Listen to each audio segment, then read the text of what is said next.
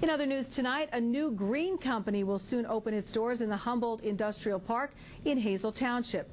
Advanced Tech Materials develops products from recycled coal waste and builds a machine that produces this foam material. CEO of the business, Jack St. Pierre, told us a little about the machine designed to make the substance used for insulating building products, including residential and commercial garage doors.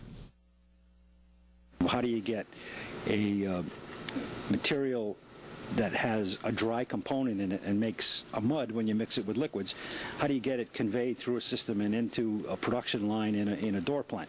Right now, their, their foam uh, components are two-part, two liquid chemicals. Uh, we added a, a, real difficult problem by adding a, a, dry component, and we had to come up with a, a way to to solve that.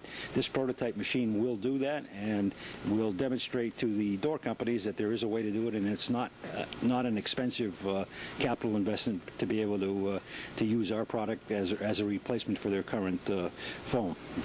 Francisco Torres Aranda Jr. is president of Advanced Tech Materials. He said the company has, was an idea of his father's for over 20 years and told us he is very excited to get the prototype out on the road. Or to this being the first of many, many steps we're going to take as far as creating some true commercialization and manufacturing with some of the technology that's been developed for many years. We had an opportunity of maybe getting a system from Europe that could do comparable things, but we said, no, we're going to do something here in the States.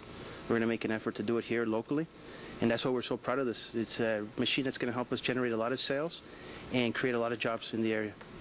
Now, once the operation grows, Advanced Tech hopes to hire about 25 employees.